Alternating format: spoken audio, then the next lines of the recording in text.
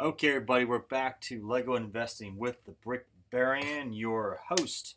And today we are looking at a pretty cool set, Minecraft The End Portal. I have held off on doing any Minecraft sets in this investing show, but um, it's time to start looking at them. So I picked set number 21124, retail of $6.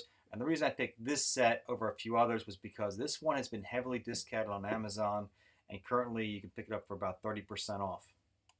So first a little bit about Minecraft. Minecraft sales for the PC and Mac platforms only have totaled 25,852,141. That's an awful lot in the last nine years. Now, as far as dollar value for the franchise, Microsoft bought the, micro, the Minecraft franchise for $2.5 billion. So Microsoft is betting heavy on Minecraft in the future. So the question here is, LEGO investors, do you feel the same way? As always, let's take a look at Minecraft, the Micro World, the Village. This is a 2013 micro build set, uh, retailed for 35 bucks. Its current value reselling two and a half years after retirement is still 35 bucks. Parts value is $47, and there are no minifigs being it's a micro set. Now, This set is currently reselling for minus 24% of its parts value.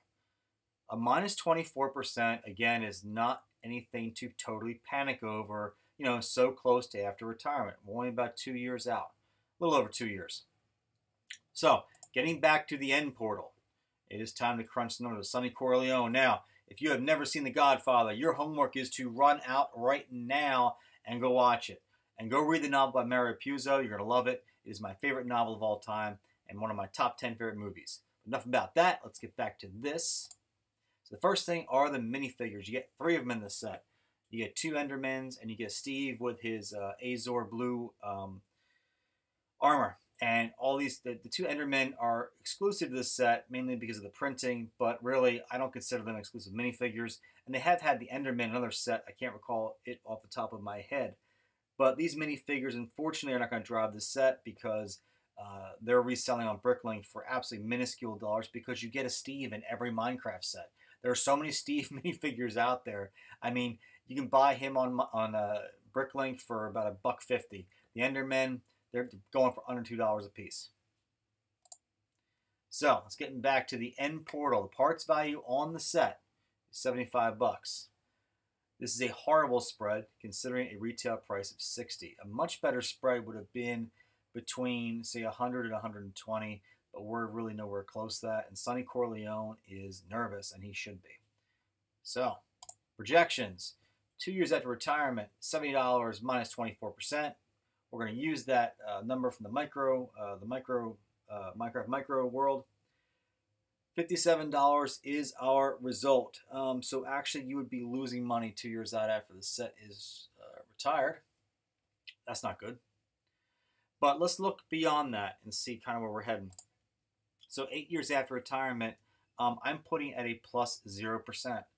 I don't think even in eight years is going to dig its way into a uh, plus percentage, which is interesting because Minecraft is insanely popular. I mean, it has legions of fans, lots of young fans. Um, and it does translate very well to Lego. But you know, I think that it's just it's just not something that um, short term is a great investment. Now, the big X factor here is you know, well, what about 20 years out? Because if it has really low inventories and the kids now who love it so much, who are say 10 years old, 15 years old now, well, in 20 years, they're 35, 30 years old buying these sets back Oh, are these the kind of sets 20 years out that can be fetching some big bucks? And that is certainly possible. I would not put that out of the realm of possibility. But are you willing to bank 20 years out? These sets would have to literally like be reselling, you know, at 500 bucks a pop.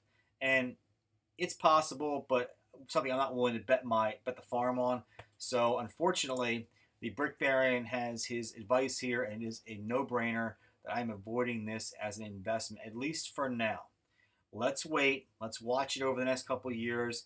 Um, when the first the first wave has retired now, like the first night and a few other sets. So we'll wait another couple years. We'll come back, revisit it, and we'll see how they're doing. But um, as of right now, um, I'm going to say stay clear. Alrighty? And that is the Brick Baron, and I am done with this episode. And guys, as always, thanks for watching. I really appreciate it, and I'll see you later. Bye.